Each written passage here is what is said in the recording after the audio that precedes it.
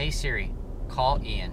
You are T18 and it is illegal to drive while connected to Bluetooth until then. It's fine, just call him. Over 391,000 drivers are injured every year due to distracted driving. I don't care, I'll be okay. You can receive a fine of $125 if caught using an electronic device no matter how long you've been driving for. Look, I. Good afternoon. Can I please see your license, registration, proof of insurance? Thank you, sir. So, what did I do? You're an operator under the age of 18 operating a motor vehicle using a, while using a Bluetooth device. That's in violation of Connecticut General Statute. When you take the wheel, you take responsibility.